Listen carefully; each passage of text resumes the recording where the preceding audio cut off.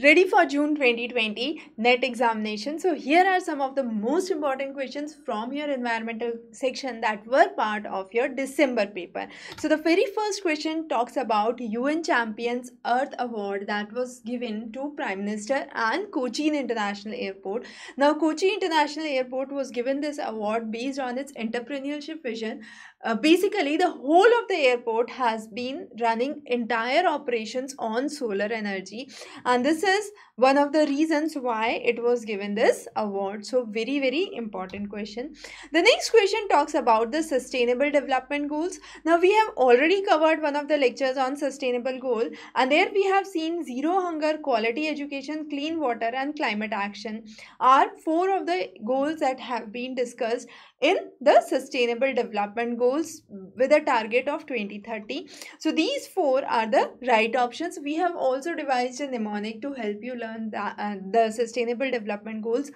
Each of the paper both in june 2019 and december 2019 had questions on sustainable development goal or millennium development goal or national action plan on climate change. So three of these topics become very very important. The next is montreal protocol. Again we have covered a complete class on montreal protocol and this is rela related to phasing out the consumption of ozone depleting substances. Very very important. Similar to the montreal protocol you do have kyoto protocol and that's for the greenhouse gases. So very very important. Also cover one of the classes that we have taken on 30 30 environmental conventions another very important lecture so here we have another question on Kyoto Protocol. Now Kyoto Protocol was committed for a period of 2008 to 2012. So this is the line or the timeline that has been given and six main greenhouse gases have been given which include carbon dioxide, uh, you have methane, nitrous oxides, hydrofluorocarbons, then you have perfluorocarbons and sulfur hexaoxide. So these are the six important gases that have been discussed under Kyoto Protocol which have been considered as uh, the greenhouse gases important for discussion under Kyoto Protocol. Now the postal material covers all these details in a thorough, uh, thorough fashion. The next is the potential geothermal power uh, potential in India is approximately it's around 20 gigawatts or we can say 10,000 megawatts.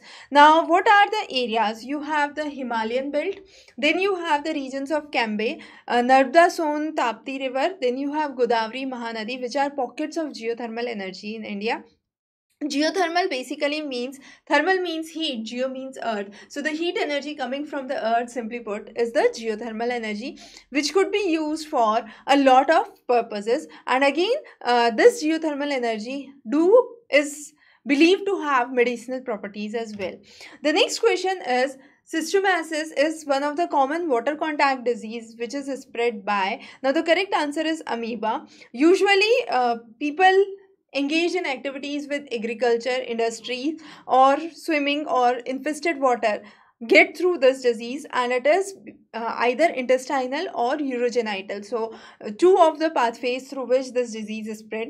A very very important question a burning topic from your environment and this was part of the down to earth. We have been covering down to earth fortnightly so again becomes very very important the next question is again very important now what is important to understand is there is no sound drop or decrease per meter that is seen. So we get a sound drop of nearly 6 dB when we are doubling the distance. So it's nothing to do from the uh, distance from the so, uh, sound source. Okay. So first option becomes incorrect.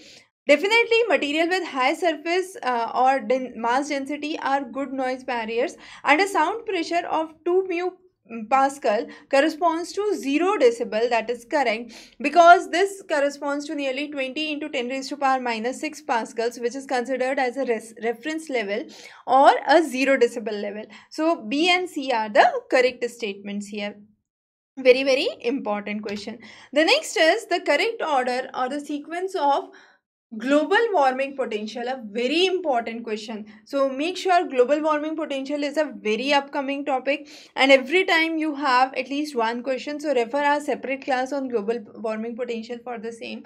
Now the increasing order is you have one global warming potential for carbon dioxide followed by uh, methane which is around 28 to 36 then you have nitrous oxides and the highest is for cfc so this becomes your right order for your greenhouse uh, the global warming potentials the gpw that is called as uh, sorry G, uh, GWP okay?